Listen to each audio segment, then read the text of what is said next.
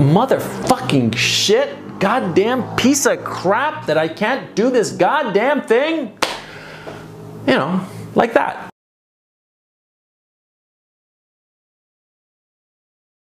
My girlfriend is into photography.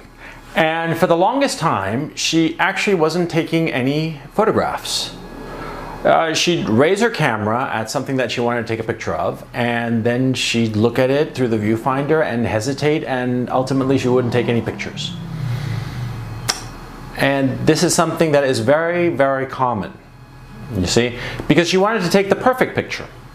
Now, when I was starting out as a young writer, I wanted to write the perfect novel. And so I, when I was a teenager, I wrote and wrote, you know, the beginning paragraph of this perfect novel, and it wouldn't be a perfect paragraph, of course. And so I'd abandon that attempt, and then after a few weeks, I'd try again. And all I had was, you know, you know, half a dozen half pages of false starts over a six month period. I didn't write anything, right? It's very normal to be paralyzed by the desire for perfection. The desire for perfection, the ideal that we see in our heads, is something that we aspire to, and we think that reaching perfection is sort of like, you know, if you, if you get into the right groove, you'll reach perfection. And if you start and you're not, and you feel that you're not in that perfect groove, then it's not going to happen, so you might as well like abandon the attempt, right?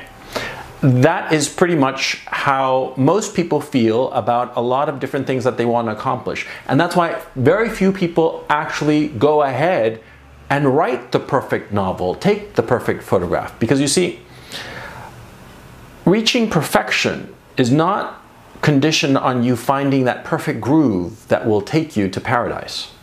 Reaching perfection is an issue of consistency, of constancy of repetition, of trying over and over and over again, and constantly failing along the path to success. Done is always better than perfect. Now, on these videos, for instance, I have more than once done, I've more than once had a false start. More than once have I redone a video. I've done, uh, you know, some videos I've done two, sometimes three times. One time, I did one video five times and you know, it, all five times were failures. And I was like, motherfucking shit, goddamn piece of crap that I can't do this goddamn thing. You know, like that, right? And it's, frustration is enormous when you have an ideal and you don't reach it. And the temptation is to abandon the attempt. The temptation is always to say, you know something, fuck this thing. I am never going to get it right. I am never going to get it perfect, so I'm not going to do it. See, that that's the bad choice. That's where you make your mistake. Because the choice isn't I am never going to reach perfection, so I am going to abandon the attempt. No, no, no. The choice is I am never going to reach perfection, so I will continue anyway. I will try to do it anyway because done is better than perfect. Done is achievable. Perfection never is. Perfection, after all, is usually something that you realize after the fact. I've done so far like something like 77 videos. And uh, every single video I've ever done, I finished and said, that was a piece of shit, you know. How many unsubscribes am I going to get now? And I'm always amazed that people are like, oh, that's pretty good are these people high? You know, it's a piece of shit. And then, you know, a week or two later, I look at it and I'm like, that was pretty good. And there are a few that I look back and I'm like, how the hell did I produce something so perfect? Like a little perfect little raindrop of perfection. You know, how did that happen? Because you see, when you're doing something, you never realize if it's any good or not. You think it's shit. You always think it's shit.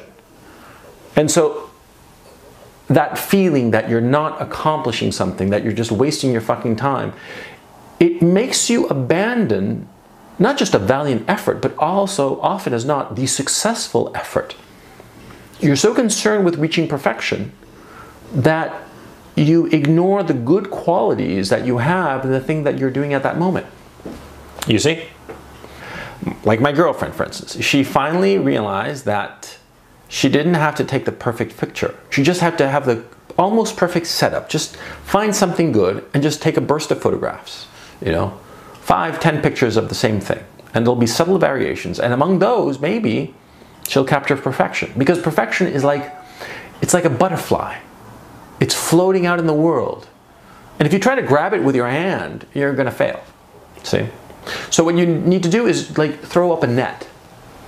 The bigger the net, the more attempts. The, the bigger the net, the more likely you are to capture perfection.